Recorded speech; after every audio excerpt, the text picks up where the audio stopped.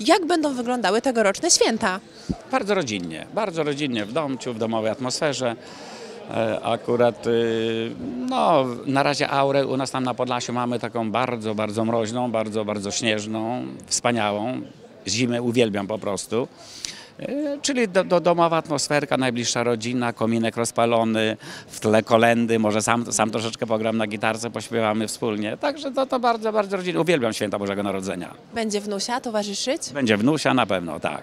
Czy już prezenty są wybrane? Bo wiem, e, że pan uwielbia rozpieszczać swoją żonę prezentami. prezenty wybrane, tak. Ja byłem jakoś y, sporo wyjeżdżałem na koncerty zagraniczne. Byłem we wrześniu i w Stanach Zjednoczonych, byłem w Chicago, w, Kanadzie, w Nowym Jorku, w New Jersey, a teraz ostatnio byłem w Niemczech, byłem graliśmy w Hamburgu, w, w nad Menem, w, w Berlinie, graliśmy w Liverpoolu, w Londynie.